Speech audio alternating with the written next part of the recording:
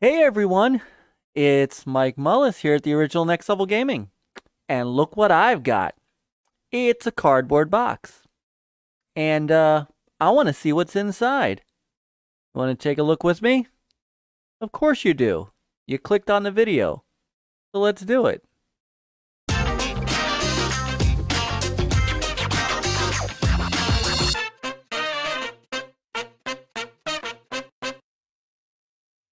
All right, so you already know what it is that's inside this box because, well, of course, you clicked on the video.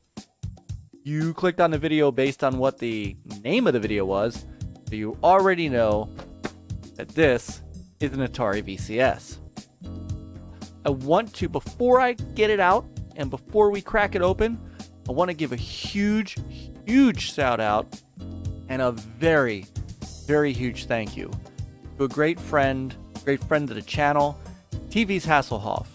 So Hasselhoff came to me uh, a few days back and said, Hey, you were talking about the Atari VCS over on DJC Game Studios' channel uh, in chat during one of the Amico Forevers. And I happen to have one that I got on that $99 fire sale that they were putting out uh, about a month ago. Uh, I tried to get one it was already sold out. He had an extra one. He said, I'm not using it. I'll sell it to you. And so I met up with him on Saturday, and uh, here it is. Aha. So we are going to take it out of the box. I'm going to get it hooked up. We're going to see what's inside. And then I'm going to try this thing out. I did not really have an appetite for the Atari VCS, right? I, to me, it was just, you know, exactly what it's boiled down to be, which is just a little mini computer.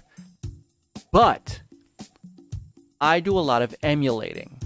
Now, I own a lot of retro games, and I don't own the older systems for them. The Sega CD, the Sega Genesis, the 32X. Uh, I don't have a good working PlayStation 2. I don't have a good working PlayStation 1. So I had been emulating games on my Xbox One. And I can emulate almost everything up to PS2. And from what I understand, RetroArch runs on an Atari VCS very well. That's the main purpose of my getting this. So when this fell into my lap, I had to jump on it. So once again, to TV's Hasselhoff, thank you so much. This, I'm hoping, is everything that I wanted it to be. So I'm going to open this up real quick and let's see what's inside. All right. All right, we've got our packing material. And here it is. Box down. One Atari VCS. This is the VCS 800 Onyx bundle. So this has the console, the wireless modern controller, and then the wireless classic joystick. Let me take this out of the cellophane and I'll show you the rest of the box.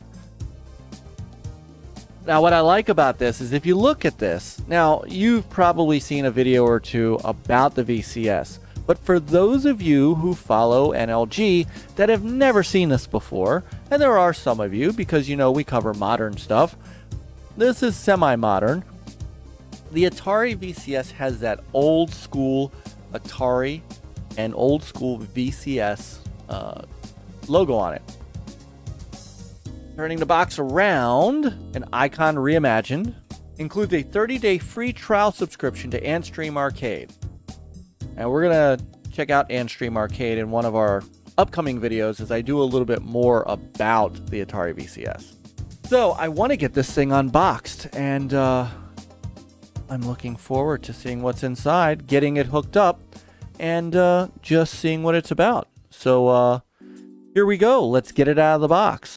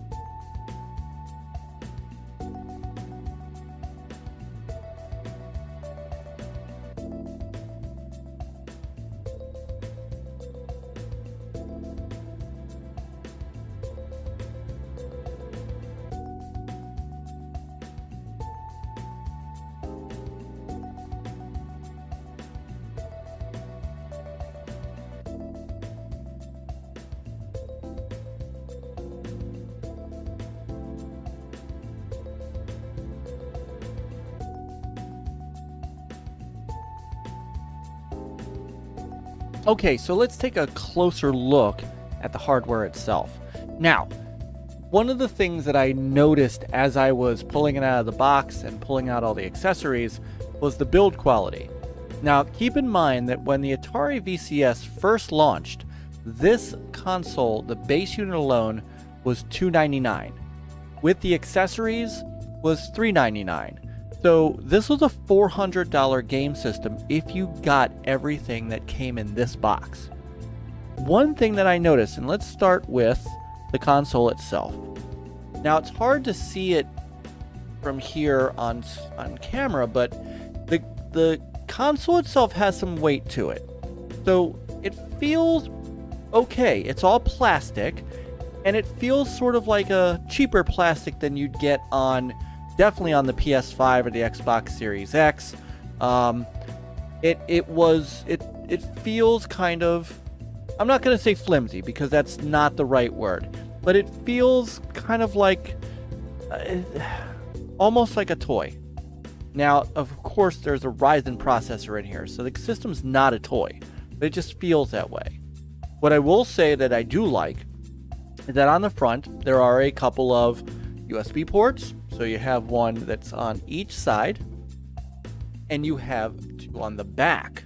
And then also on the back is, I'll bring it up here. So you have your two USB, you have your HDMI, you have an Ethernet cable, and you have your power. Now, interestingly enough, your power button's on the back. That's a little different than what I'm used to. You know, these modern consoles, all your power buttons are on the front. Even on the original Atari 2600, the power was a flip switch on the front. This is one of the first times that I've seen a power button on a console, on a on any console that I can remember being on the back of the system. That's a little weird, but it that's not going to make much of a difference. Just pointing it out. What struck me as, however, more I don't know if concerning is the is the word I want to use or just off is the quality of the joysticks. So this is the classic joystick, all right? So as you see, it's got a single stick in the middle and it has a single button here. It also has a single button here. And then it has your USB input. And then there's a couple buttons down at the bottom, a menu button and what looks like a back button. Up in the upper right corner is an Atari button, and I'm assuming that that is the button that would turn the joystick on and pair it to your console. But it's this is a lot flimsier. Like this feels like I could break this if I'm in a very very um, intense gaming session. Um, the stick in the middle doesn't have the same type of play that the original 2600 stick did. I don't have an original 2600 stick to use for comparison for you today, but from what I remember as a kid, this is a little more this feels a little more like it's trying to be a digital stick in an anal, you know, in an analog form. Now it does rotate all the way around, so it's not just left, right, up, down. It does feel like you can do diagonals. Um, the stick itself spins, but I don't think that's going to do anything. Uh, I think that's just for. I- am not sure what that's for, but we'll see once we get it rolling uh, how well this stick actually works. The other gamepad that came with it, of course, is the modern controller. This, let's be honest, what does it look like to you? Uh huh. Looks like an Xbox controller. Not saying that's a bad thing.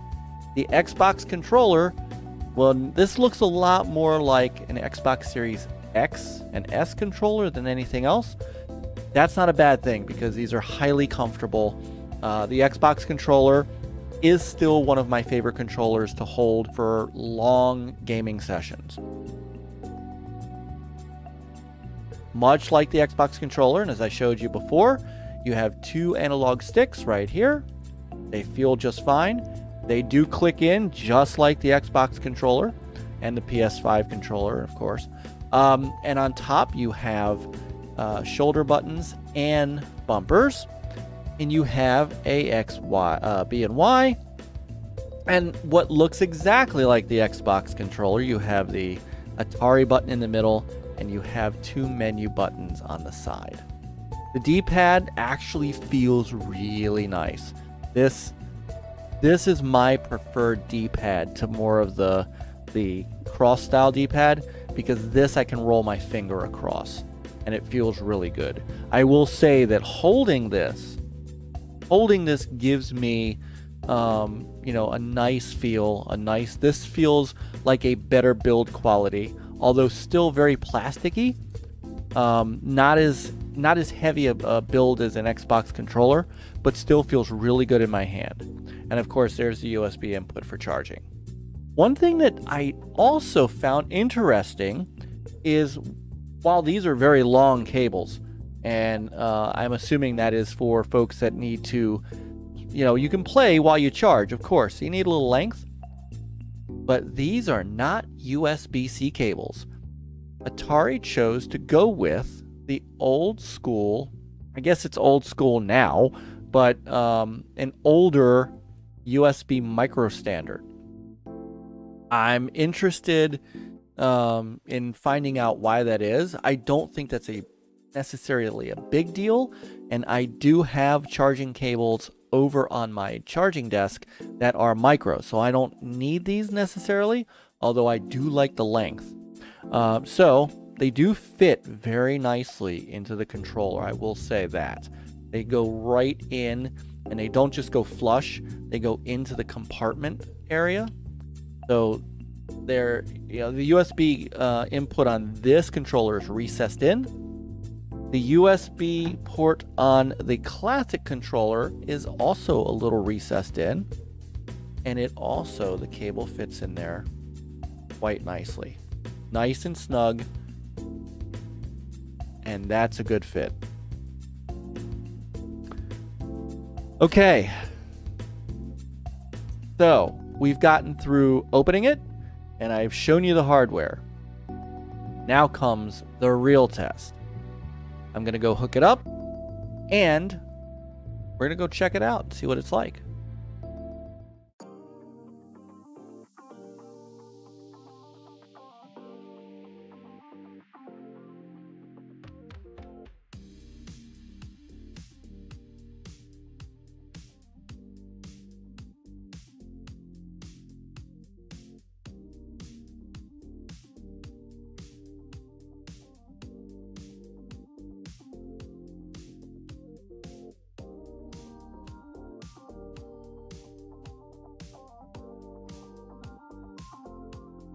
And there you go. The Atari VCS is plugged in and ready to go. We're going to go ahead and turn on the power. And in just a second, we'll see the Atari logo light up. And that means it's booting up and getting ready. So we're going to go through the initial setup. We see a little asteroids action and then the Atari logo pop up on the screen. Then it's going to ask us to connect one of our joysticks. I'm going to go ahead and use the classic controller for this. I'm going to hold down the Atari button until it pairs with the console and then you see it pop up. It's going to show me all of the buttons and all of the functions of the joystick. Hit the button and it's going to take me into my initial setup. First I'm going to pick a language, so I'll just stick with English. And then it's going to ask me to find my wireless. So I'm going to go ahead and pick my 5G wireless. If I wanted to connect a Ethernet cable, I would do that as well, but for now we're just going to connect to my wireless. Now it's update time. It's going to take about 10 minutes and it's going to run through all the necessary updates and all the current updates for the console, including flashing the BIOS to its latest version. Once that's done, it comes back to asking me to either select a guest account or sign in with an existing account or create a new one. I'm going to go ahead and create a new one since I haven't logged into Atari before. It's going to ask me to pick an icon and it's got a bunch to choose from, but I saw an Atari 800 computer. That was my old computer from my youth, so I'm going to go ahead and pick that. It's going to ask me for my display name, so I'm going to go ahead and put, I'm going to use the same name I use on Twitter. Now it's going to ask me for an email account. Anybody who needs to email me, you're welcome to do so at this email address. Then it's going to ask me for a PIN. Now obviously, I'm not going to tell you what that is, but I'm going to put it in, and then it's going to ask me to verify it. And once I get it verified, then it's going to ask me for my birthday. So I'm going to go ahead and put this in. My birthday is not really a secret. I just don't talk about it much. That's why you don't see it on Twitter or anything like that. But this is my birthday. I'm 48 years old. It's fine. This allows me to add a bio. I'm not going to do that right now, but later on I could go back and add all the nice things I'd like to say about myself. Now it's going to ask me for a final review, make sure all of my information is correct, and then send me a verification email to my NL Gaming account. I'm going to go ahead and verify, click finish, and now it's going to set up my dashboard. Once my dashboard is in place, this is the starter stuff that comes on the VCS. So let's just take a look around and see what we've got. Now on the front screen, you see a VCS Companion, which is a phone app, Chrome, the Atari VCS Vault, and Antstream Arcade. Clicking on the right hand side, I can see my account, I can switch users, I can power down or put it into standby mode. Going back to the settings, under System, here's all my account information, under the general settings, I see where I can change the display resolution. I'm going to go ahead and put this into 4K mode. It's going to reboot once I click continue. Once it's rebooted, I'm going to sign back in as me. I can sign in as a guest if I don't want to sign in as anybody.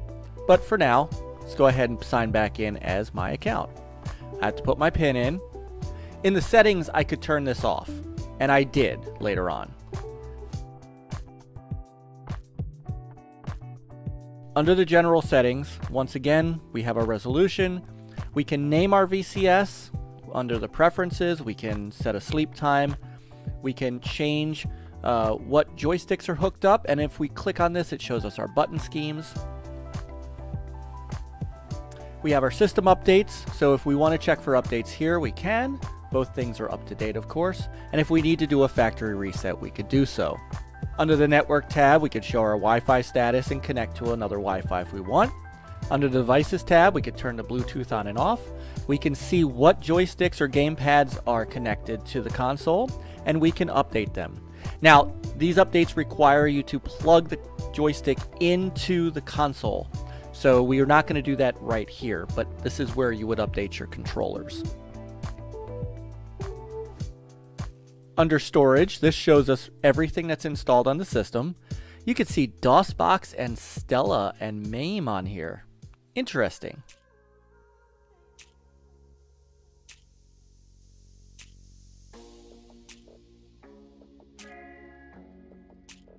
So, we're going to go to Chrome.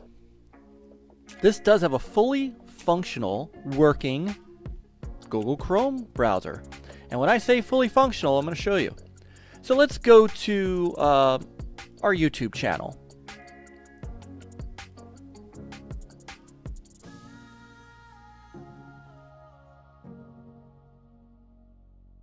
There's the NL Gaming channel. Let's go over to the Gamers United Guild website. And there's our Gamers United Guild site, where you can find all of our great Gamers United Guild folks. Let's take it a step further.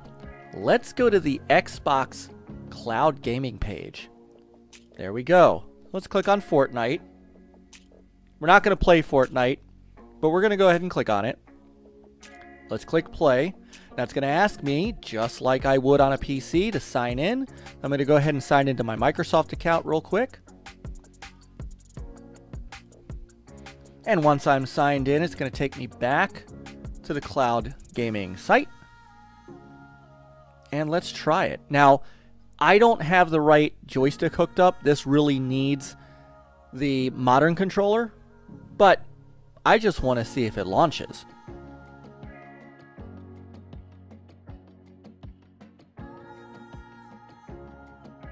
Oh, there you go. Streaming Fortnite. So obviously we can't do it because again I need the modern controller hooked up. But just to show you that the Xbox Cloud Gaming does work natively on the VCS. So we're going to exit out. We're going to go back to the dashboard. Now looking across the top, there are sections for everything you need. The next section over is the game section, so as we download and buy games, they're going to be listed here. Right now we just have the Antstream Arcade and Atari VCS. Going to the app side, in the middle we have PC mode. You can connect an external drive, or you can install an M2 SSD drive inside your VCS and boot into whatever operating system you like. And we're going to show you that in an upcoming video. So coming back out, let's go to the store and take a look around. So the store is curated into a featured section, a game section, and an app section. And if you look across the apps, you're going to see all your familiar Google apps, of course. However, as we saw with Google Chrome, you can launch Microsoft apps right in the browser. Looking across the game section, there are 2,600 games, 7,800 games. There's indie games, there's all kinds of stuff to play. And the prices are not too bad. We're going to try some of these out in a future video. So scrolling down and taking a look. We'll load some more here. There are some other native apps too. The Luna app, uh, the NVIDIA uh, GeForce Now, Xbox Cloud Gaming, you could do all of your streaming right from this console without ever having to boot into another operating system. There's a Stadia app, and there's an Air Console app. So the store is pretty easy to navigate. And finally, let's go to the friends area. So here's my Atari VCS name, NLG Mullis 12896. Feel free to add me, and let's share leaderboards and such. And that's the initial setup of the Atari VCS. I'm ready to rock and roll. Alright, so we got it unboxed, we got it hooked up, got it fired up, and we got it set up. Now, one other thing that I wanted to point out while I was running through working with the classic controller, I did get a chance to fire up the Atari VCS Vault and because I wanted to try it out, earlier in the video, I said that I wasn't sure why the joystick spun.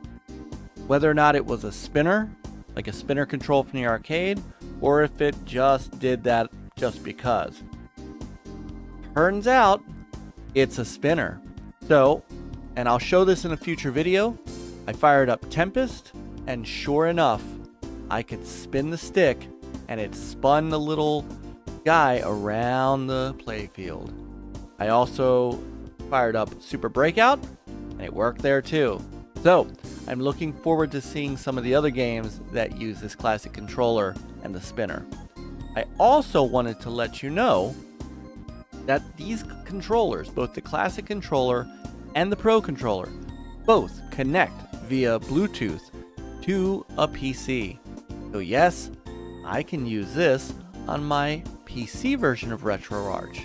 The only thing I haven't tried yet that I'm very curious about is if I could plug it in via USB to my OG Xbox One and play the RetroArch on that with one of these. Not sure. Not sure it matters, but this is cool to plug into your own computer if you want to use it.